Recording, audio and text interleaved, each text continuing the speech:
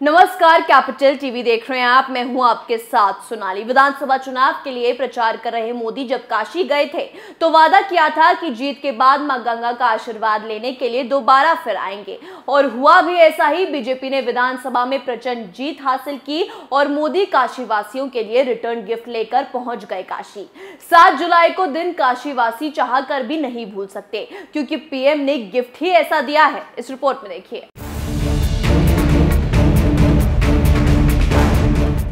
वाराणसी पहुँचे पीएम ने अपने पाँच घंटे के कार्यक्रम के दौरान तीन कार्यक्रमों में शिरकत की। सबसे पहले एलटी कॉलेज में पूर्वांचल के सबसे बड़े अक्षय पात्र मिड डे मील किचन का उद्घाटन किया। इसके बाद अखिल भारतीय शिक्षा समागम कार्यक्रम का उद्घाटन किया। फिर सिगरा स्टेडियम में सत्रह सौ चौहत्तर करोड़ की तिरालीस परियोजनाओं का लोकार्पण और शिलान्यास किया। पीएम मोदी ने doctor Sampurnanand sports stadium Sigra में भोजपुरी से भाषण की शुरुआत की। पीएम ने कहा, हर हर महादेव। काशी में कहल जला कि यहाँ सात बार नौ त्योहार होला। कहले का मतलब ये होए कि यहाँ रोज रोज नया त्योहार मनावल जाला। यहाँ जुटल आप सबके प्रणाम है। पीएम ने कहा, सावन में बाबा के भक्तों को दिव्य भव्य और नव्य काशी का अनुभव मिलेगा। दुनिया भर के पर्यटकों और श्रद्धालुओं को काशी में दिव्य अनुभव हो और आनंद मिले, ये हम सब का कमिटमेंट है। पीएम का यह दौरा 2024 का शंखनाद माना जा रहा है, क्योंकि भगवान भोलेनाथ के आशीर्वाद से बड़ा और क्या हो सकता है। यूपी विधानसभा चुनावों में भी पीएम ने काशी से भगवान का आशीर्वाद लिया था। पीएम ने काशी के लिए जो कहा उसका अर्थ ही अलग है। पीएम ने कहा, मैं आज चुनाव के बाद पहली बार आपके बीच आया हूँ। काशी हमेशा से ही जीवन और निरंतर प्रवाहमन रही है। काशी ने पूरे देश को एक तस्वीर दिखाई है, जिसमें विरासत भी है और विकास भी है।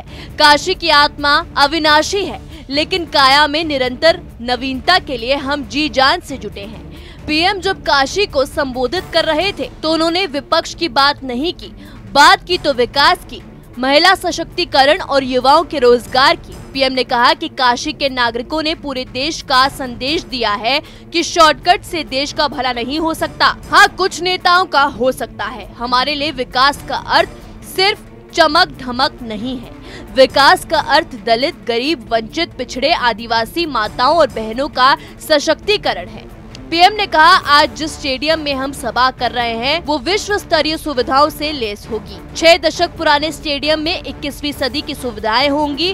गंगा की निर्मलता और स्वच्छता के लिए हमारा जो संकल्प है, उसके लिए हमें लगातार प्रयास करते रहना है।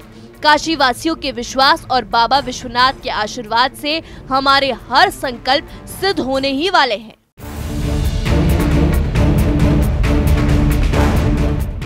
काशी वासियों के विश्वास और बाबा विश्वनाथ के आशीर्वाद से हमारे हर संकल्प सिद्ध होने ही वाले हैं। अपनी इस बात से पीएम ने इशारों इशारों में 2024 के लिए ज़मीन तैयार करने का संदेश दे दिया है।